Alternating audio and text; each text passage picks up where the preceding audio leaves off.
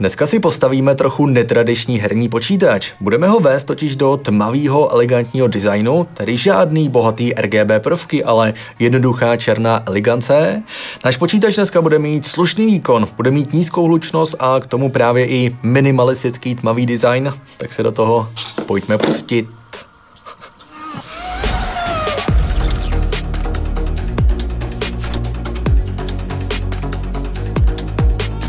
Jako procesor jsem se rozhodl využít tuhle novou Intel Core i7 14700K. Ona 14. generace Intelu je spíš jenom takový drobný refresh, drobný vylepšení, protože samotný Intel tyhle procesory nazývá jako Raptor Lake Refresh, takže neočekávejte úplně velký nárůsty výkonu, ale zrovna 14700K se mi zalíbilo v tom, že si ponechává stejnou cenovku jako předchozí generace, přitom nabídne lehce vyšší boostovací frekvence a k tomu hlavně dostanete 4 jádra navíc. Už zde totiž nemáte kombinaci 8 výkonů výkonných a 8 úsporných jader, jakou 13700K, ale nově dostanete právě 4 jádra navíc, celkově 12 úsporných jader a k tomu 8 výkonných jader. Takže to se hodí všem, kteří na počítači často rendrují a dělají náročné operace na procesoru. Hezkým bonusem taky je, že 14. generace Intel procesorů je stále na soketu LGA 1700, takže můžete hezky využít akce třeba na starší desky s chipsetem Z690. Tady si jenom ohlídejte, zda kupujete desku, která už má podporu 14. generace Intelu. Dneska už by naprostá většina desek tuhle podporu měla mít, ale raději si to zkontrolujte přes stránku podpory u jednotlivých výrobců základní desky. A taky si když tak ohlídejte, aby vaše deska měla podporu BIOS flashbacku, protože pravděpodobně deska přijde se starším BIOSem, a vy si ho musíte aktualizovat, abyste právě 14. generaci Intel procesorů na těle deskách rozchodili. My ale dneska použijeme naprostou královnu základních desek s označením ProArt Z790 Creator od Asusu.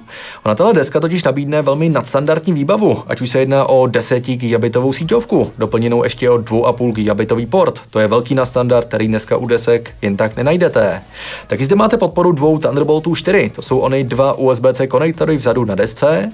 A za mě Thunderbolt porty jsou více důležitější u notebooku, kde chcete co nejvíce rozšířit svůj notebook o další monitor, monitory, dokovací stanice a další periferie, ale třeba u počítače se Thunderbolt taky za mě hodí. Můžete připojovat opět různý huby, dokovací stanice, externí disky s tím, že máte obrovskou datovou propustnost. Takže Thunderbolt 4 tady máte dvě a to se určitě hodí. Mně se na těle prémiovějších deskách od Asusu taky líbí to, že mají na USB 3.2 Gen 2x2 Type-C konektoru taky podporu Power Delivery a Quick Charge. To znamená, že pokud máte skříň, kde máte nahoře USB-C, což my mít budeme, za chvilku si skříň představíme, tak skrze tento konektor můžete krásně dobíjet nejen váš telefon, ale třeba i váš notebook, protože 60 W to dneska stačí i k nějakému trochu výkonnějšímu laptopu. Takže tohle je velmi praktická věc a pouze si si nezapomeňte zapojit tento 6-pinový konektor po 24 pinem, aby vám fungovalo ono 60W dobíjení místo klasických 27 W. A jinak kromě toho tady máme i spoustu dalších vychytávek, ať už se jedná o query mechanismus, který vám krásně uvolní patici na PCI Express slotu, vy pak můžete jednoduše vyměnit vaší grafickou kartu, bez toho, aniž byste se museli šťourat nějakým šrubovákem mezi vaším chladičem a grafickou kartou v těsném prostoru. Taky zde máte Q latch mechanismus, který vám jednoduše umožní připevnit vaše M2 disky přímo na základní desku, bez jakýkoliv šroubku, to je taky velmi praktická věc. Mimochodem M2 disku tady máte, nebo nebo spíše slotů pro M2 disky. Tady máte celkem 4, takže pokud máte rádi uložiště, tak si na téhle desce rozhodně přijdete na svý. Taky máte ale základní deska již podporu Wi-Fi 6E, takže v kombinaci s nějakým novějším, lepším routerem dostanete i nový 6 GHz spektrum. To se může hodit všem z vás, kteří bydlíte například v bytovkách, máte zarušený prostředí. A většina kanálů, který využívají 2,4 nebo 5 GHz Wi-Fi, jsou od sousedů zabraný. Tak právě ve v kombinaci s touto deskou a lepším routerem dostanete nový kanály, kam se můžete vměstnat a obecně nový Wi-Fi protokoly. To je vždycky fajn věc, kde je lepší být trochu napřed před sousedama aby se si užívali vyšší rychlosti a měli jste spolehlivější bezdrátový internet.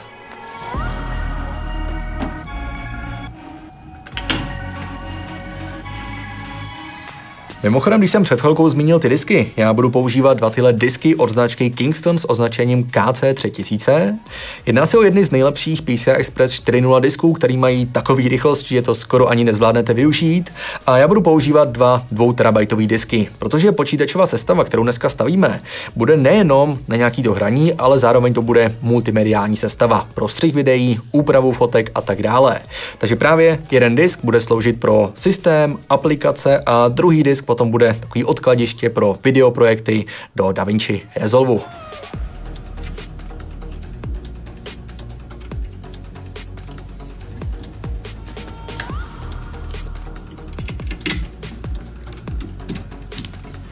Ramky dneska už samozřejmě dávám DDR5, já tentokrát použiju tenhle set od Corsairu s označením Vengeance. Nejsou to úplně nejrychlejší ramky, mají rychlost 6200 MB přechodu za sekundu, což není úplně extra vysoká rychlost. Měl jsem tady ramky, které měly třeba 7200 MB přechodu za sekundu, ale takové ramky už nemusí fungovat úplně na všech procesorech nebo všech základních deskách a taky už riskujete nějakou stabilitu. Takže já tady budu radši volit Ramky, které budou trochu pomalejší, ale jelikož se jedná o sestavu, která bude i využívaná pro práci, tak je právě důležitější stabilita. A taky zde máme hlavně vyšší kapacitu, 2x32 GB ve dvou stykách, takže časem můžu klidně i rozšířit na celkem 128 GB DDR5 ramek. Rovnou si představíme i vodní chlazení. Mám tady Asus ROG Ryujin třetí generace s 240 mm radiátorem. Já už téměř rok používám předchozí generaci tohohle chladiče a musím říct, že mi drží nejenom skvělé teploty, taky má nízkou hlučnost, ale hlavně vypadá vizuálně moc hezky, protože má displej a tam jsem si udělal vlastní animaci, která mi krásně personalizuje počítač.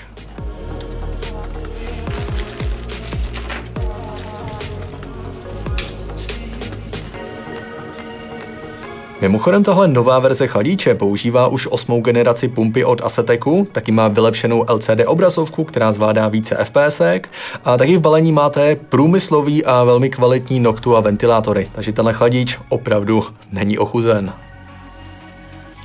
A jako skříňce k naší elegantní tmavé sestavě nehodí žádná jiná než Fractal Nord. Tu jste na mém kanále už viděli, ale zatím pouze v bílé edici. My tady tentokrát máme edici černou, která místo dubového předního panelu používá panel z ořechu, který má celkově tmavší a snědější barvu. Za mě možná tahle tmavší edice vypadá trochu lépe než předchozí světlá edice, ale je to hodně otázka vkusu. Já musím říct, že Fractal Nord je aktuálně nejenom jedna z nejhezčích skříní na trhu, ale je taky skvěle funkční. Má dva kvalitní tichý ventilátory vpředu, taky poctivý prachový filtr, má taky celkem dobrou kompatibilitu s vodním chlazením, celkově se ve skříni dobře pracuje a za mě jediný, co se dá vytknout, tak je horší dostupnost. Tahle tmavá edice je téměř skoro furt vyprodaná.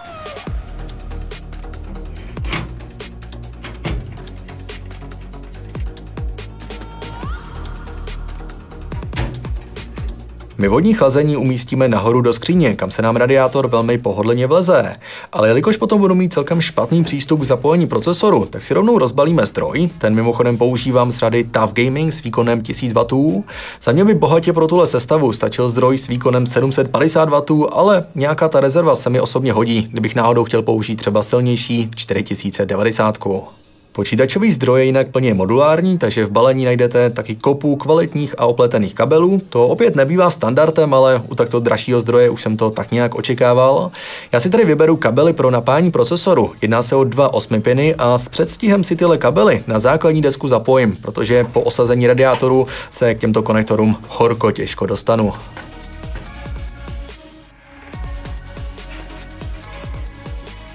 Nyní si připravíme ventilátory na radiátor. Já mám v plánu odesílat teplý vzduch nahoru ven ze skříně, takže radiátor bude nahoře a pod ním budou dva ventilátory. Takže orientace na ventilátorech bude šipkama směřovat takto.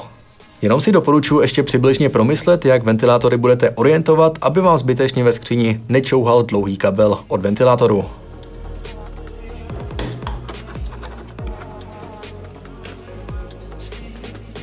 Při pevnění potom slouží tyhle delší šrouby a menší ty pro vás. Použijte je jako takový pomocník s přitlačením kabelu přímo ke konstrukci, ať kabel ventilátoru je co nejméně vidět a co nejméně trčí od ventilátoru.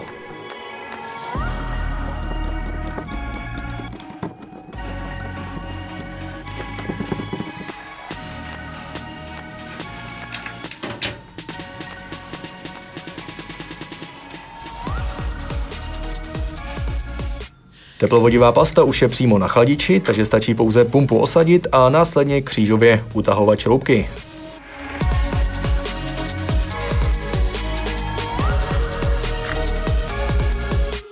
No a přecházíme na grafickou kartu. Pokud jste si mysleli, že do téhle sestavy dám grafiku s herním designem a spoustou RGB prvků, tak jste samozřejmě na omilu. Tohle je grafika opět z řady ProArt, která si nese jednoduchý design doplněný o pár zlatých prvků, takže v počítači potom bude působit velmi decentně a samozřejmě elegantně.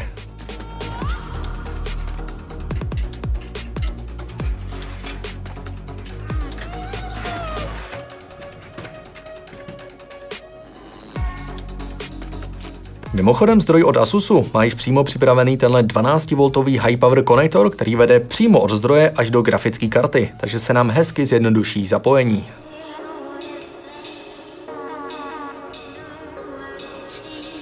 No a my máme hotovo. Výsledná sestava je opravdu trochu neobvyklá, protože kromě vodního chlazení tady vůbec nic nesvítí, ale zase na druhou stranu sestava se celkem povedla a postavit si po roce zase něco bez RGB podsvícení je celkem příjemná změna a sestava vůbec nevypadá špatně.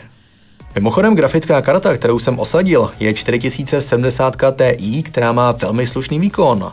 Já ačkoliv jsem říkal, že tahle sestava je primárně určená na práci, tak ale gaming zvládne taky zcela na jedničku. O není žádný problém si na téhle sestavě zahrát nejnovější tituly na nejvyšší detaily a to ve vyšším rozlišení 1440p a dokonce pokud se nebojíte používat upskillování obrazu přes Nvidia DLSS, tak některé hry dokážete pohodlně rozjet i ve 4K. Pokud se podíváme na teploty, onen 240 mm radiátor drží náš Intel ve hrách na přibližně 60 stupních Celsia a grafika se po 30-minutové zátěži ve Formule 1 taky drží na přibližně 65 stupních Celsia.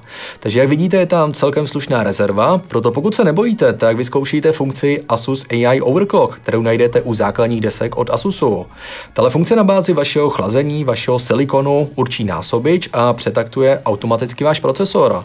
Vy se vůbec o nic nestaráte staráte a přitom vám to přinese klidně i o vyšší jednotky procent výkonu navíc ve hrách, takže to případně vyzkoušejte.